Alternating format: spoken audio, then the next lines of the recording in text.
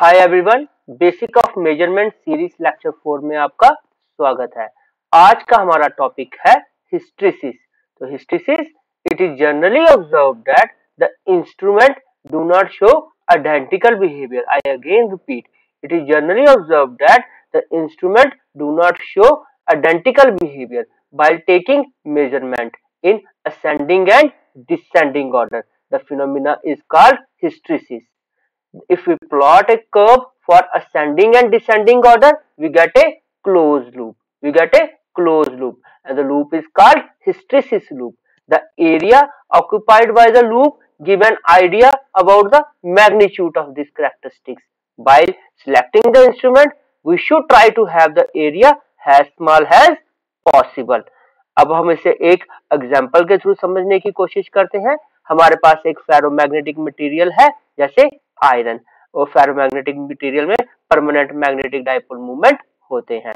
हम उसे एक एक्सटर्नल मैग्नेटिक फ़ील्ड में रखेंगे या उस पर मैग्नेटिक फ़ील्ड अप्लाई करेंगे to magnetise to for magnetisation जब हमने फेरोमैग्नेटिक मटेरियल को एक्सटर्नल मैग्नेटिक फ़ील्ड में रखा फॉर मैग्नेटाइजेशन तो जैसे जैसे हम मैग्नेटिक फ़ील्ड बढ़ाते जाएँगे, ऐसे ऐसे ही मटेरियल मैग्नेटाइज होता जाएगा। एक ऐसे पर्टिकुलर वैल्यू आएगी at this point the material 100% magnetise हो जाएगा एंड इसकी वैल्यू कांस्टेंट हो जाएगी।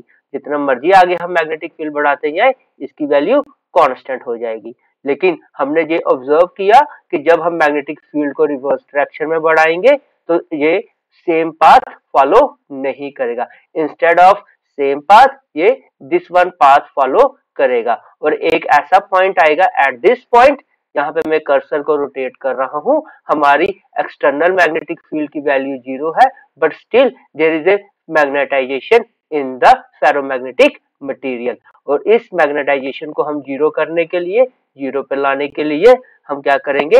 अप्लाइड मैग्नेटिक फ़ील्ड को रिवर्स डायरेक्शन में अप्लाई करेंगे। And same for the this case in this case हमने मैग्नेटिक फ़ील्ड को अप्लाइड मैग्नेटिक फ़ील्ड को रिवर्स डायरेक्शन में अप्लाई किया हुआ है। और जब हम अप्लाइड मैग्नेटिक फ़ील्ड को फॉरवर्ड डायरेक्शन में अप्लाई करना शुरू करेंगे तो कब ये पाथ फॉलो करेगी। तो आई होप इस एग्ज़ाम्पल से आपको हिस्टीरियस लूप की बारे में पता चल गया होगा।